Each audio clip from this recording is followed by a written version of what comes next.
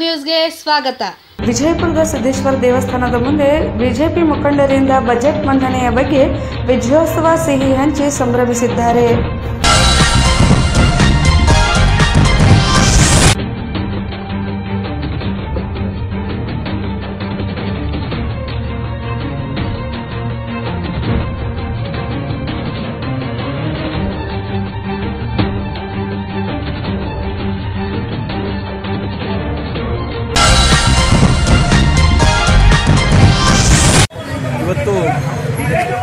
ದೇಶದಲ್ಲಿ ಬಹಳ ಮಹತ್ವವಾಗಿರ್ತಕ್ಕಂಥ ಇಷ್ಟು ದಿವಸ ಅನೇಕ ಸರ್ಕಾರಗಳು, ಭಾಜಪ ಸರ್ಕಾರ ಬಿಟ್ಟು ಅನೇಕ ಸರ್ಕಾರಗಳು ಬಜೆಟ್ ಮಾಡಬೇಕಾಗಿತ್ತಂದ್ರೆ ನಮ್ಮ ಆರ್ಥಿಕ ತಜ್ಞರು ಕೂಡಿ ಬಜೆಟ್ ಮಾಡ್ತಿರ್ಲಿಲ್ಲ.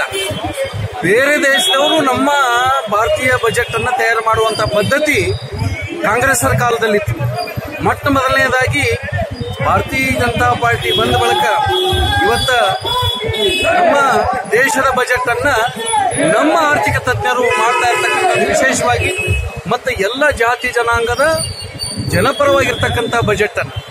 ಇಷ್ಟು ದಿವಸವರೆಗೆ ಸರ್ಕಾರ ಬಂದು ಇಷ್ಟು ಆದ ಬಳಕು ಕೂಡ ಸೈನಿಕರಿಗೆ ವಿಶೇಷವಾದಂಥ ಶಸ್ತ್ರಾಸ್ತ್ರಗಳನ್ನು ಕೊಡ್ತಕ್ಕಂಥ ಅನೇಕ ಒಳ್ಳೆಯ ಶಸ್ತ್ರಾಸ್ತ್ರಗಳನ್ನು ಮಾಡ್ತಾ ವ್ಯವಸ್ಥೆ ಇರಲಿಲ್ಲ. ನರೇಂದ್ರ ಮೋದಿ ಅವರು ಬಂದ ನಂತರ ಈ ದೇಶದ ಸೈನಿಕರಿಗೆ ಅತ್ಯುನ್ನತವಾದಂಥ ಶಸ್ತ್ರಾಸ್ತ್ರ ಕೊಡುವ ಬಗ್ಗೆ ನಿರ್ಧಾರ ತೆಗೆದುಕೊಂಡದ.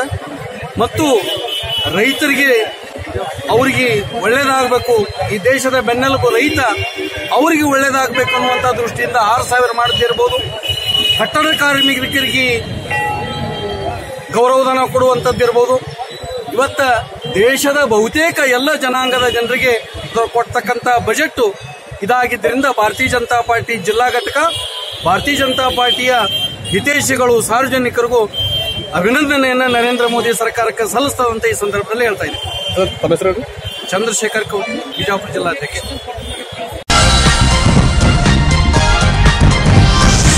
ಅದೊಂದು ಕನ್ನಡಿಯ ಸಾಹಿತ್ಯ ಸಮ್ಮೇಳನ. ಇವತ್ತು ಸಾಹಿತಿಗಳು ಅವರು ಸಾಹಿತ್ಯ ಮಾಡುದು ಕನ್ನಡ ನಾಡು ನುಡಿ ಜಲಕ್ಕೆ ಮಾತ್ರ ಅವರು ಒಂದು ಹೆಮ್ಮೆ ಪಡಬೇಕು. ಪರಂತು ಇವತ್ತು ನಮ್ಮ ಸೈನಿಕರ ಸಹೋದರರು ಅವರ ಬಗ್ಗೆ ರೇಪ್ ಮಾಡ್ತಂತ ಹೇಳ್ತಾ ಇದ್ದಾರೆ ನಾಚಿ ಕೆಟ್ಟದಂತ ಅವತ್ ಆ, ನಾಚಿ ಶೈಲಿಕ ಸೈನಿಕ ಕಟ್ಟದಂತ ನಾಚಿ ಆ, ಸಾಹಿತಿಗಳು ಅವರು. ನಿಜವಾಗ್ಲೂ ಅವ್ರು ಏನಾದ್ರೂ ಅವತ್ತಿನ ದಿವಸ ನಾವು ಧಾರವಾಡದಾಗ ಅಂತಂದ್ರೆ ನಮ್ಮ ಹೆಣ್ಣು ಮಕ್ಕಳು ತಗೊಂಡೆಲ್ಲ ಕಾಟ ಅವ್ರ ಸ್ಟೇಜ್ ಮ್ಯಾಗಿಂದ ಹೇಳ್ಕೊಂಡು ಏನ್ ಮಾಡ್ಬೇಕು ಅನ್ನೋದು ಮಾಡ್ತಿದ್ವಿ.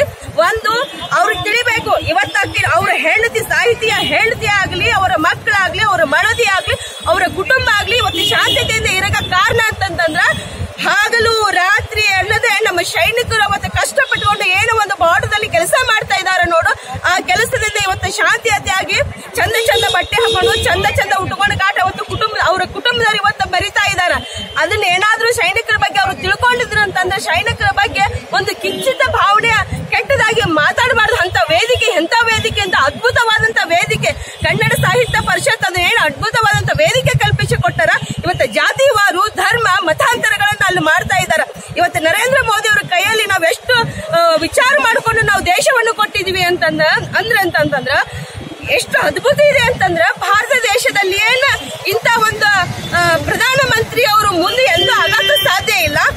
ಒಂದಲ್ಲ ಎರಡ್ ಸಲ ಪ್ರಧಾನ ಮಂತ್ರಿ ಸ್ಥಾನ ಅವ್ರಿಗೆ ಕೊಟ್ರಂತಂದ್ರ ನಿಜವಾಗ್ಲೂ ನಮ್ಮ ಭಾರತದಲ್ಲಿ ಹೇಳ್ತಾರ ರಾಮಯುಗ ನಮ್ಮ ಭಾರತಕ್ಕೆ ಬಂದೇ ಬರ್ತದೆ ಅಂತಂತಂದು ಆ ಯುಗ ಬರಾಕ ಹತ್ತಿರನೇ ಇದೆ, ದೂರ ಏನಿಲ್ಲ ಅಂತ ನಾ ಹೇಳಕ್ ಇಷ್ಟಪಡ್ತೀನಿ.